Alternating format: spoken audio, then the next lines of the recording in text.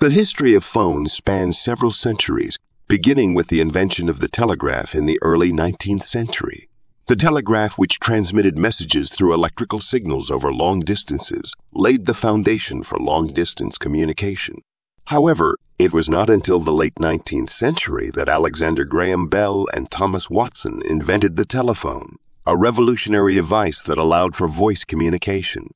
The first telephone call took place in 1876, marking the beginning of a new era in communication.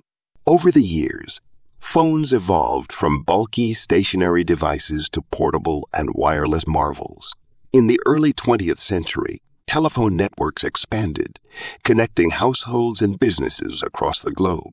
The introduction of rotary dial telephones in the 1920s simplified the process of making calls.